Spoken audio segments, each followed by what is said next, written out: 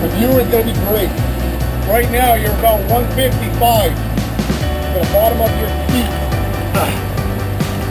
Well, maybe it's closer to 160.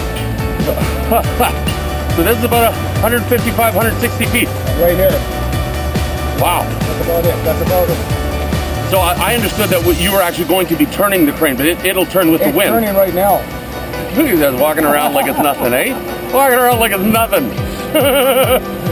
That's a lot of trust. Even right here. Yeah. It actually shakes a little bit. Yeah, it does. No, you're right. It shakes a little bit. Well, what that shaking is, is actually the crane doing this in the wind. oh, the things I get myself into. But look at the view of Steinbach. Wow.